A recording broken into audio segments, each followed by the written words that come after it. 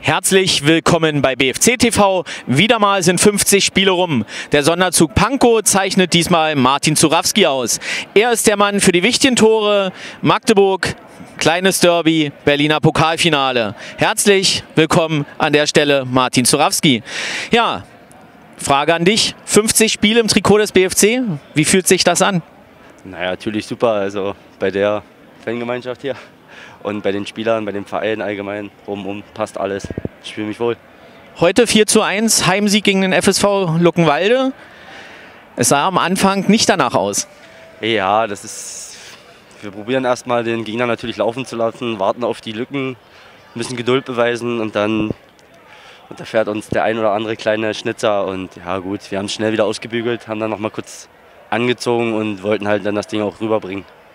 Von der Wertigkeit her der drei wichtigen Tore, welches war für dich das emotional wichtigste? Boah, da muss ich, ja, muss ich ja Union sagen, hä? Sagen musst du gar nichts. Also doch, ich denke mal schon gegen Union 2 damals, das war schon. Hm.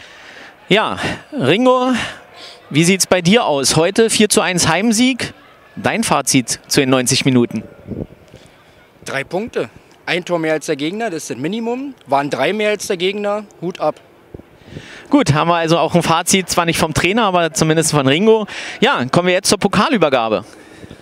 Ja, das ist das gute Stück. Herzlichen Glückwunsch vielen, von vielen uns, von, unserem, von unserer Fangemeinde. Ja, und weiter so, auf die nächsten 50. Dankeschön. Machen.